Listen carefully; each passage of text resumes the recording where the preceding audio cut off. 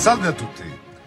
A luglio a Taurianova, che è la capitale italiana del libro, infatti il mio spettacolo è proprio tratto da un libro, Il talento di essere tutti e nessuno. Vi posso garantire che quella sera scateneremo l'inferno. Ci vediamo a luglio a Taurianova. Buona estate a tutti.